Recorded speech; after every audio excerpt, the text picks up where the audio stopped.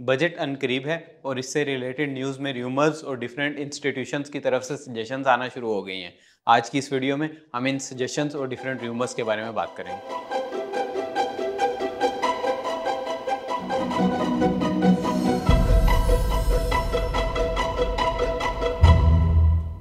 Ninth जून को expected है कि federal government F Y twenty three twenty four के लिए अपना बजट पेश करेगी, जिसमें अगर र्यूमर्स की मानी जाए तो टोटल टैक्स कलेक्शन का टारगेट 9.2 ट्रिलियन है, जिसे आईएमएफ के कहने पे 9.5 ट्रिलियन तक बढ़ाया जा सकता है। इस बढ़े हुए टैक्स कलेक्शन के टारगेट को मद्देनज़र रखते हुए गवर्नमेंट कुछ एडिशनल टैक्सेशन मैयर ले सकती है, जिसमें सबसे पहले उन कंपनीज़ जिनका पे आउट रेशियो कम है, उनके डिस्ट्रीब्यूटेबल रिज़र्व पे टैक्सेशन लगाई जा सकती है। मजीद ये कि लास्ट ईयर जो सुपर टैक्स इम्पोज हुआ था टेन परसेंट का, उन कंपनीज़ पे जिनका प्रॉफिट 300 मिलियन से ज़्यादा थे, वो इस दफ़ा कंटिन्यू हो सकता है, जिससे कंपनीज़ की अर्निंग्स पे इफ़ेक्ट पड़ेगा। पेट्रोलियम लेवी के कैप को भी बढ़ाने की रूमर्स सामने आ रहे हैं, जो कि करंटली फिफ्टी रुपीज़ पर लीटर पे सेट है, उसे बढ़ा के सिक्सटी रुपीज़ पर लीटर पे किया जा सकता है। मजीद ये कि इमूवेबल प्रॉपर्टी पे भी टैक्सेशन मेयर्स को बढ़ाया जा सकता है specially for the non filers इसके अलावा नादरा के डेटा को इस्तेमाल करते हुए जायद आमदन वाले नॉन फाइलर्स को भी पिनलाइज करने की सिफारिशात हैं,